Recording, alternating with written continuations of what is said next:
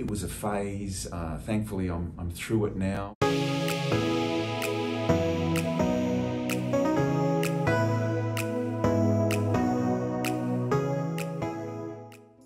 Hey, it's John Aiken here, expert from Married at First Sight, and today I am very excited because I get to look through some of the key photos that I've got on my Instagram account. Enjoy.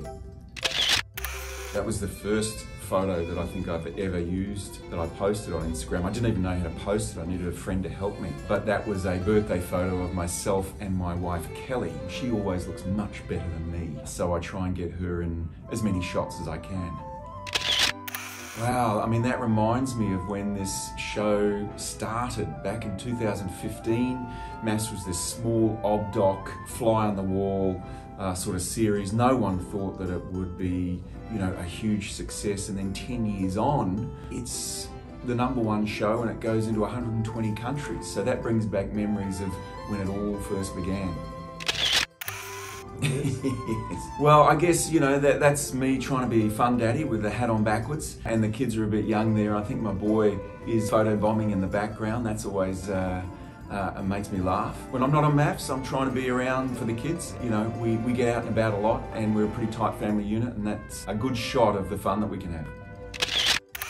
Uh, yes, I do. Uh, that there is me essentially wiped out at the end of a long PR day. Once a year, uh, the MAFS experts get together and we do photos. Different shots, different lighting, different wardrobe, and that stage there, I'm kind of, I'm checked out, you know? I mean, there's only so much you can do in terms of the smile on the face uh, and the clothes, and I think uh, that there tells it all.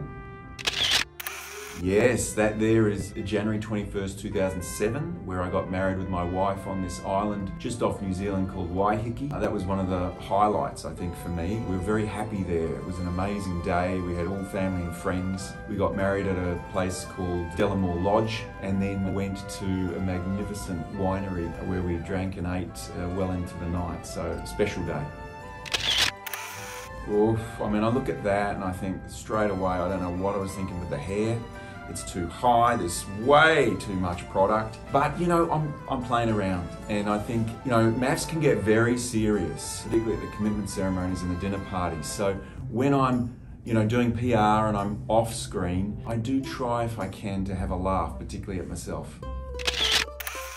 Well, Cam and Jules, I mean, they really are a standout couple over the 10 years. They got married for real. They've had a family, young family, and they're delightful. You know what? I'm always reminded of them, you know, because regardless of how many challenges the couples get on each experiment, Cam and Jules were able to be a unified front. They turned towards each other.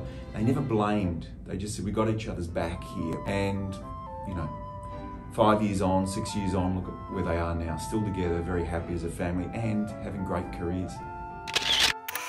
Yeah, I mean, this is really exciting times for me because I get to spend part of my week talking to Alessandra. It's got that lovely accent. But also we, we look at other issues, uh, bigger relationship issues. So we, we look at these bigger issues and also give you some practical take-homes. So for me, I love doing this podcast. It's growing fast and um, it's just another exciting opportunity that I've had uh, since um, being a part of this show. So I'm very, very thankful.